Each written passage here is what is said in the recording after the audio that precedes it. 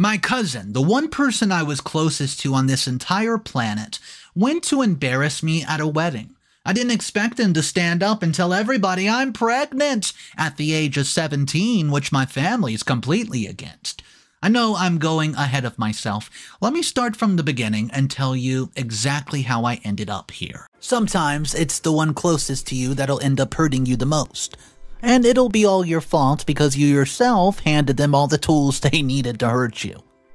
Hey guys, before I start telling you about the absolute mess that I'm in right now, it's best that I explain a little drama from my teen years that started all of this.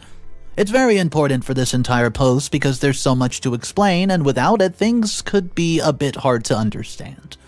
When I was 17, I was dating the one guy in high school who was named Jack.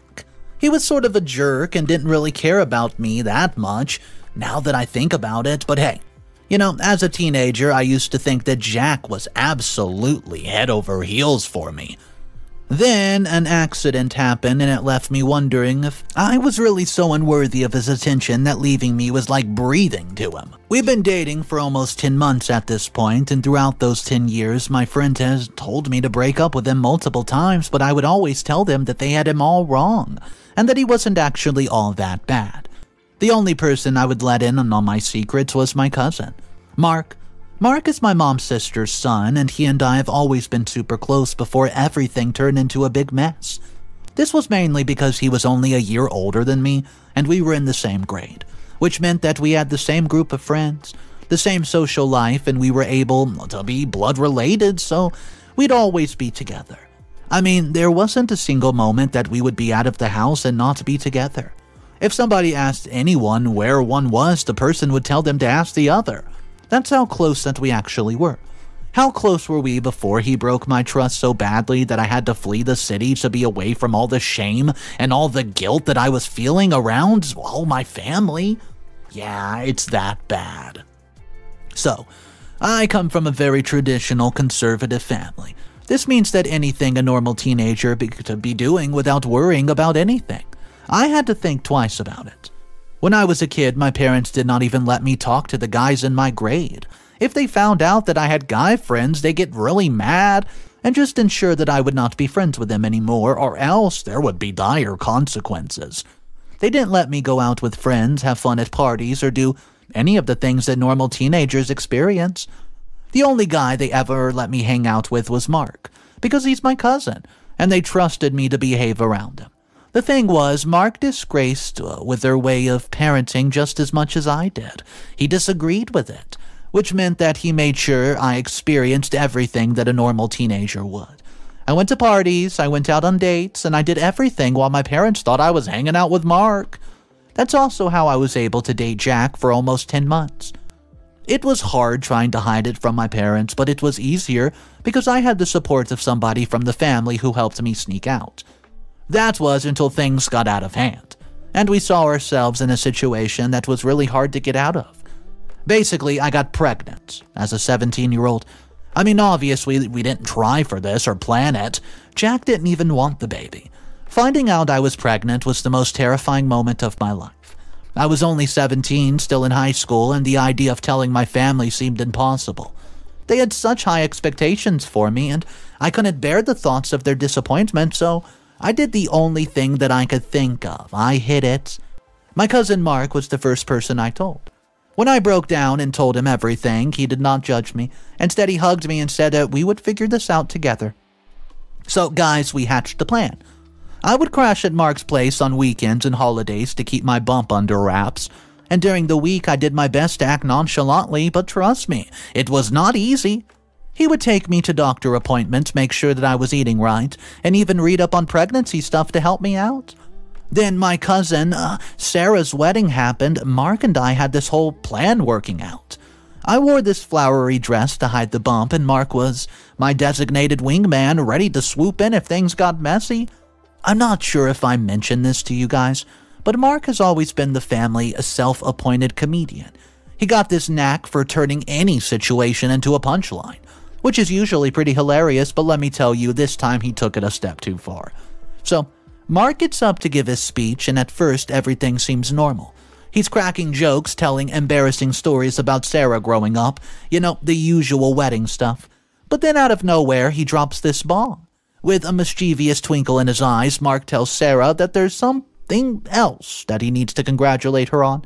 And then he points straight to me, revealing to everyone in the room that I'm going to be a mommy. You could have heard a pin drop, I swear. The entire room went silent like somebody had shucked all the air out of it. I felt like I was going to pass out right then and there. And then chaos erupted. People started whispering, exchanging shocked looks, and I swear I even heard somebody gasp. It was like I was watching a train wreck in slow motion, unable to look away no matter how much I wanted, just to knowing that the train that was wrecking was my life. To say I was mortified would be the understatement of the century. I wanted to crawl under the nearest table and disappear forever. Before I could even catch my breath, my parents filled the room with their voices, sharp and angry. They're a fighting right there in the middle of my cousin Sarah's wedding reception. They're yelling at each other and they're starting to yell at me, calling me all sorts of names and saying I'm a disgrace. My mom's crying, my dad's shouting, and I'm just standing there feeling like the world's biggest screw up. All because the cousin I trusted the most could not keep his mouth shut. Needless to say, I was so mad at Mark, absolutely livid. So there we were, and I was giving Mark a piece of my mind. But instead of owning up to his mistake or showing any sign of remorse, Mark just stood there with this smug look on his face. It was like he didn't even care that he had caused me such pain. I tried to reason with him to make him understand how much he had hurt me, but it was like talking to a brick wall. He was stubborn, he was arrogant, refusing to take responsibility for the action. And you want to know the worst part? He didn't even try to defend himself. I mean, he just brushed it off like it was no big deal, like I was the one overreacting. At that moment, I realized just how toxic our relationship had become. Mark was not the supportive cousin I thought he was. He was just a selfish jerk who only cared about himself. And as much as it hurt, I knew that I could not just keep letting him walk all over me like this. I deserved better than somebody who was willing to throw me under the bus for a cheap laugh and a short lived attention. He was clearly enjoying the way everybody was coming up to him asking about details of the pregnancy and how I was dealing with it, but I knew what I had to do right then and there. After the chaos of Sarah's wedding and the fallout with Mark, I knew I needed a fresh start. So I made a decision. I was going to move out of town, far away from the drama, and start a new life of my own. It was not an easy decision, per se, but, you know, I had been saving money from my part time job for a while and was confident I had enough to make it work. I decided to go and do it alone, so I packed up my belongings and headed out with a heavy heart. The journey was stressful, to say the least, and moving to a new town by myself was challenging, especially with a baby on the way. It was worse because my family was so conservative that they didn't even try to reach out. They genuinely thought that every bad thing that was happening to me was a punishment from God, and they could not interfere in it. But I knew I needed to do it for my own mental health, as well as for my baby's future. I could not let the baby grow up around relatives who cursed her and her mom's existence as soon as they found out that she was conceived. I'd moved out of town 10 years ago, intent on becoming a fresh life away from the chaos and the pain of the past. And let me tell you, those years were not easy. But with hard work, determination, and a little luck, I was able to create a successful business from the ground up. It was difficult to balance the motherhood and entrepreneurship, but every light night and every early morning was worthwhile to see my dreams come true. Then something very unexpected happened. Very unexpected. I received a great business opportunity in my hometown. One of my clients insisted a lot that I personally visit and test the water before discussing the business potential. I won't bore you with the technical details, but it was a huge opportunity, one which would take my business to a new height. However, even so, I was conflicted about whether or not to go back to the city. I had run away from all those years ago, and that was until I was contacted by my uncle, informing me my parents' death and inviting me to their funeral. It came to me as a huge shock, but a hurt one. You know, it hurt a lot, but not as much as one would expect. I guess the distance over the years loosened the attachment I had for them. Nonetheless, I decided to go pay my respects. No matter how they were or how they treated me, they were my parents. So I returned with my daughter, not as a helpless little girl, but as a successful woman, who literally had achieved all her dreams on her own. I attended the funeral, and sure enough, there were still family members and relatives whispering about me behind my back, but I hardly cared anymore. After that, I left and started my market research. Guys, now here goes the, uh, I don't know, somewhat interesting part. Soon enough, Mark learned that I was in town. I remembered not seeing him at the funeral and wondered how his relationship would have been with my parents over the years that I was not present. One thing that was sure, he had not changed one bit.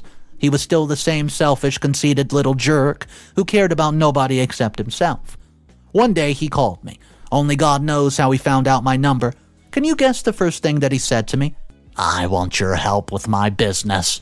Can you believe it? This man has not seen me for a decade, and because of him, I had to leave my town at the age of 17, and I had to go through the whole pregnancy alone.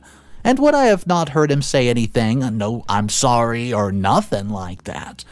When I asked him about it, he simply said that it was years ago and we both were young and stupid, and didn't people know better, and how I should just let it go. The audacity. But after a while, he apologized with a somber tone and said that he really needs my help and that I was his last hope. I simply told him that I need time to think about it and hung up. Now, guys, I'm confused as to what exactly I should do. On the one hand, I want to help him. He's family after all, and helping each other is what families do. This could be very well my chance at closure. But on the other hand, I can't forget what he did to me all those years ago. What do you guys think? Should I let him in and give him a chance? Just to redeem himself, or should I tell him to kick rocks? Update number one. Hey guys, it's me. I am here for an update, so let's get right into it. But now, uh, I've reached a whole new level of crazy. Mark showed up at my door a week later asking for help with his business again. I knew if he wanted my help, he was going to be persistent, but I was not expecting him to be annoying. I guess he really was going through a tough time. I told him straight up that I had not forgiven him. The betrayal from the wedding and still stings, and I was not about to pretend everything was just okay. I needed him to know that, well, what he did was not something that I could easily just get over. I thought that being honest would help us have a real conversation about the past, but Mark did not take it well at all. We ended up having a huge fight. Mark kept pushing me, saying that I was holding on to grudges and that it was time to let go. He acted like his actions at the wedding were no big deal, just a joke that I went too far. But it was not a joke to me. It was public humiliation that changed my life. I tried to make him see sense that it hurt. And the more we argued, the more self-conscious I became. Maybe he was right. Maybe I was being too dramatic. Everyone else in the family seemed to have moved on, so why could not I?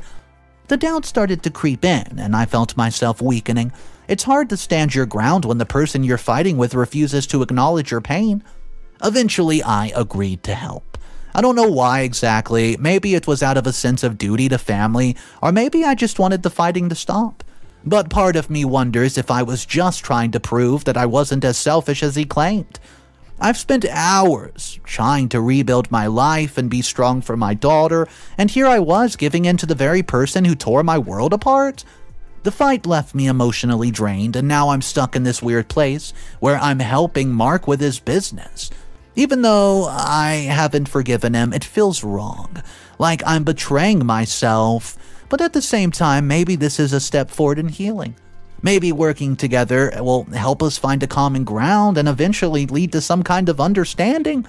Or maybe I'm just fooling myself. Updates number two.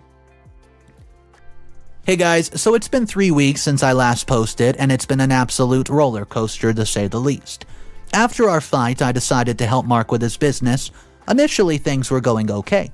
We managed to work together without too much friction, and it seemed like maybe, just maybe, we could find some common ground and move past everything that happened.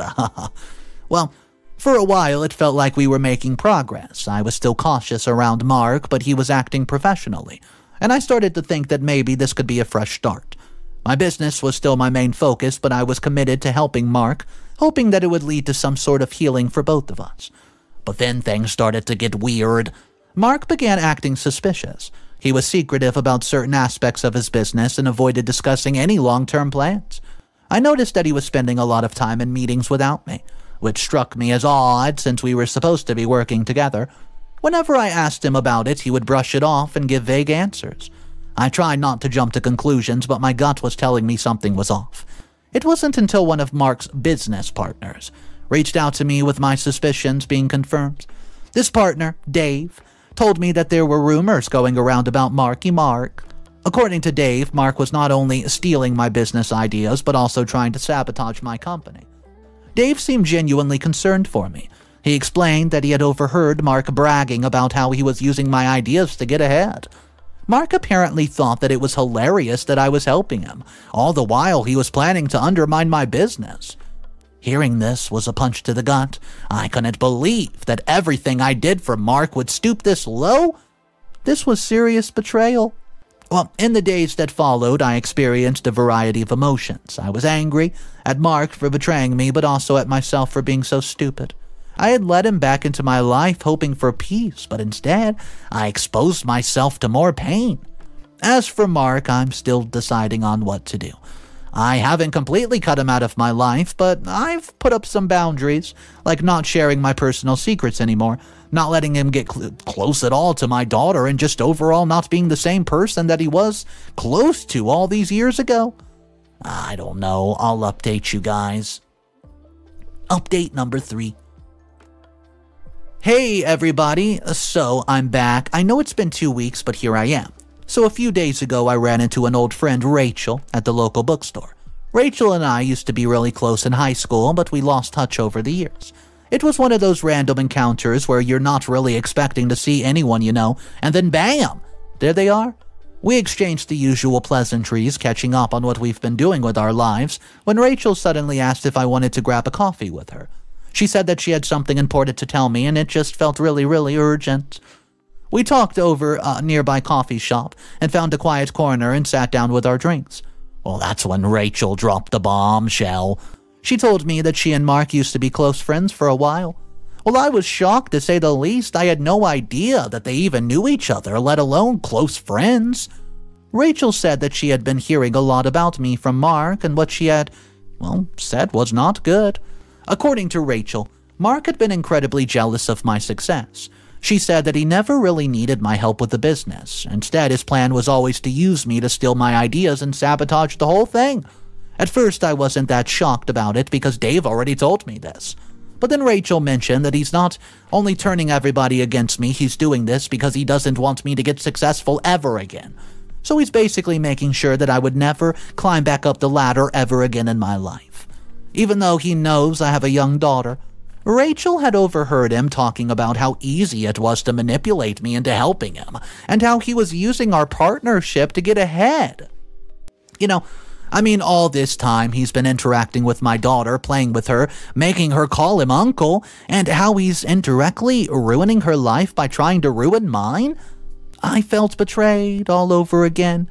You know, uh, I just didn't know what to do, really. Uh, all along, his plan was to destroy everything that I put so much effort into creating?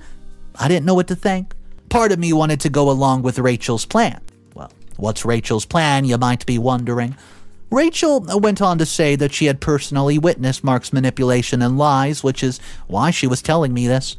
At the moment, I was suspicious about why she was telling me this at all, if she was such a close friend of hers. I guess she could see it on my face as well because she told me that she believed he needed to be taught a lesson. Yeah, especially since he was a jerk to her as well and completely ruined her reputation in front of their friends since Rachel rejected going out on a date with him.